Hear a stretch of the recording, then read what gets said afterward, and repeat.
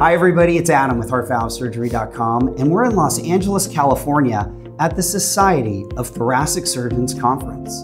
I'm thrilled to be joined by Dr. Vaughn Starnes, who is the Surgeon in Chief of Keck Medicine of USC. Dr. Starnes, it is great to see you Good again. to see you. And thanks for being with me today. Absolutely, my pleasure. Yeah, so we're here at STS. I know you're coming from a Ross procedure course that you just taught physicians. At the same time, we're getting patient questions coming at us from all over the world Right.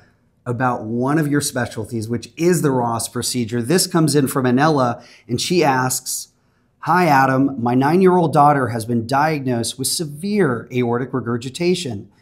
Is the Ross procedure a good treatment option for her? Well, Adam, I think absolutely. I think in children in particular, we've been using the Ross procedure since early 90s because it really returns the quality of life to the child. They don't have to worry about playgrounds because they're not on a blood thinner. Uh, it's the only operation that we do in a child that the valve can grow with the child.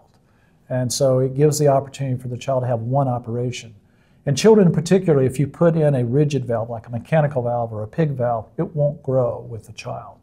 Pig valves will last three to five years in a child.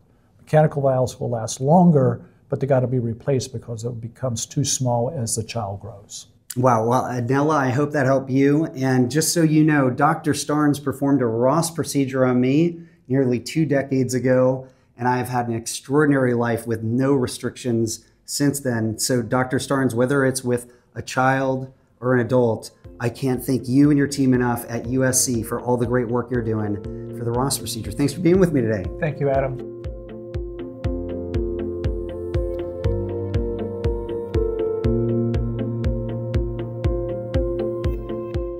Hi, everybody, it's Adam. I hope you enjoyed that video.